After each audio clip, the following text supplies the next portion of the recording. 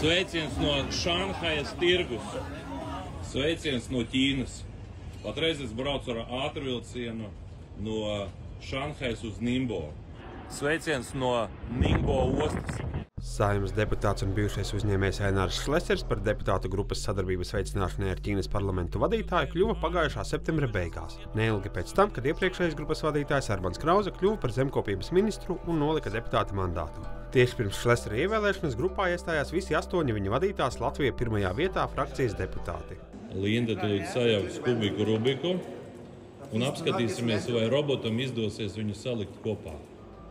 Tautu delegācijā izteikti dominē Šlesera partijas biedri. Braucienā piedalās arī divi Nacionālās apvienības pārstāvji - grupas vadītāja vietnieks Aleksandrs Kirsteins un Edmunds Teirumnieks un Viktorija Pleškāne no stabilitātei.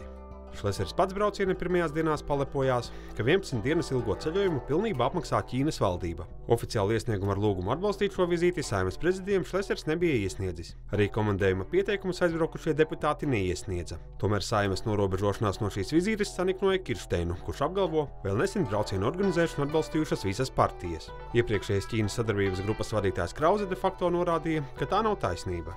Bija uzaicinājums pagājušajā gada vasarā no Ķīnas. Diemžēl es neko neorganizēju. Man nācās atteikt šo braucienu, jo šādi braucieni ir jāplāno laicīgi, jāsaskaņo ar ārlietu ministriju. Mums Latvijā ir vienota ārpolitika, nav kaut kāda individuāla deputāta grupas, ir valsts ārpolitika. Es aprunājos ar vairākiem grupas locekļiem, bet, bet es paudu savu viedokli, un viņi piekrita manam viedoklim, ka mēs nevaram steigties šajā jautājumā. Pagājušajā rudenī, kad par grupas vadītāju kļuva Šlesers, Ķīnas regulārie centieni uzņemt viesos Latvijas politiķus guva krietni lielākus panākumus. Iespējamās politiķu un arī uzņēmēju vizītes organizēšanā iesaistījās gan Ķīnas vēstniecība, gan Šlesers. Piemēram, Latvijas darba devēja konfederācija pēc vēstniecības lūguma jau novembrī aptaujāja savus biedrus, taču interese par vizīti netika pausta, līdz ar to detalizētāk šādu iespēju tā neanalizēja. Savukārt Latvijas tirdzniecības un rūpniecības kamerā, kuras 17 cilvēku delegāciju tomēr norganizēja, de facto vispirms atbildēja, ka LTRK prezidentu Aigaru Rostovski par vizīti uzrunāja Šlesers, bet vēlāk precizēja, ka jau oktobra beigās Rostovski par to uzrunājis Ķīnas vēstnieks. Caur Šleseru paustais Ķīnas piedāvājums vairākiem sadarbības grupas deputātiem tomēr nešķita pieņemams. Piemēram, Andrejs Udins no jaunās vienotības Šleseram atbildējis, ka uz Ķīnu nebrauks, kamēr Ukrainā turpinās karš, un tālākas komunikācijas nebija. Noraidoši bija arī citi pozīcijas deputāti. Šlesers viņus uzrunāja mutiski, un sadarbības grupas sēdē jautājums par vizīti arī nav ticis apspriests. Es neesmu pret to, ka būtu jāuztur kontakti un varbūt jādodas uz valstīm, kas nav tieši arī mūsu sabiedrotie, ja, bet nu, diplomātiskie kanāli jāuztur, bet viņiem jābūt atbilstoši.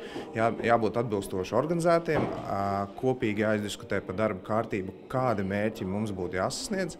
Tam būtu jāiet cauri normālu darba, nu, šīs sadarbības grupas sēdi, tam būtu jāiet cauri prezidiju, konsultēties arī ar drošības dienestiem un ārlietu ministriju. Tas būtu pareizais ceļš. Es arī Šlesar kungam jautāju, kā tad ir izdevies novērst visus šos iespējamos riskus attiecībā uz nu, tātad, drošības jautājumiem vai um, procedūras sakārtošanu. Nu, uz ko, diemžēl, es negūstu pārliecinošu atbildi.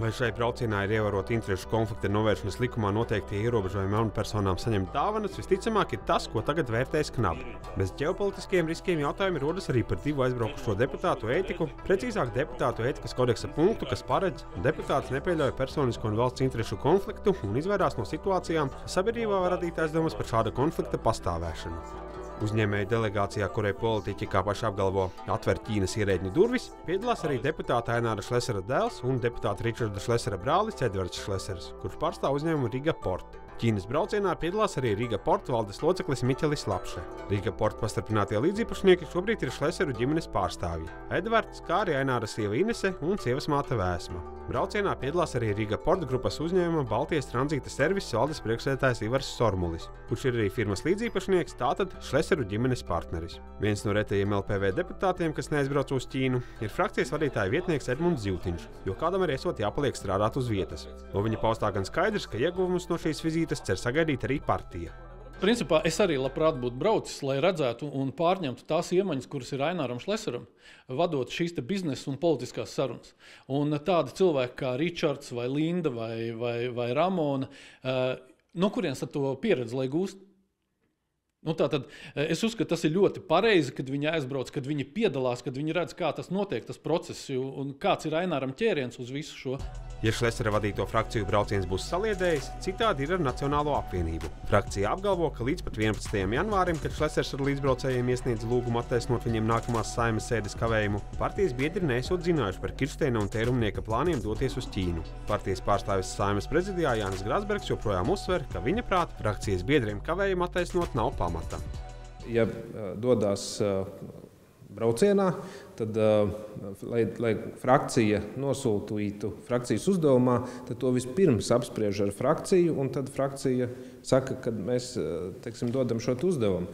Līdz ar to mēs, kā Nacionāla apvienība, neredzam, ka mēs varētu rakstīt šādu attaisnojumu un, un, un rakstīt tādu rīkojumu. Nacionālās apvienības frakcijas pārstāvis ir arī Saimas ārlietu komisijas priekšsēdētājs Rihards Kols, kurš atzīst, ja partijas biedri būtu informējuši par ieceri braukt uz Ķīnu, frakcija to neatbalstītu. Viņa skatījumā šis nesot īstais laiks atrotīt piedurknes un mesties padziļināt sadarbību ar Ķīnu.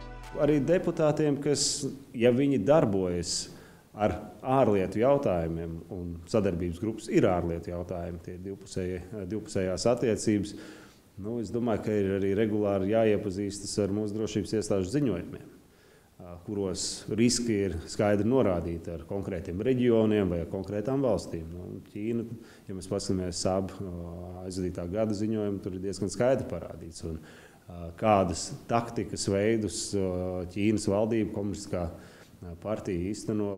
Satversmes aizsardzības birojas šonadēļ atgādināja, ka Ķīnas intereses politiskā un ekonomiskā klātbūtne mūsu reģionā iezīmējas aizvien jūtamāk. Valsts drošības iestāde arī norādīja, ka braucieni, kas tiek sponsorēti no uzņemošās valsts puses, var nebūt vērsti vien uz draudzīgu sadarbību, bet var ietvert arī mērķtiecīgus mēģinājumus veidot ilglaicīgus kontaktus ar personām, kurām ir zināšanas, ietekme vai piekļuve informācijai.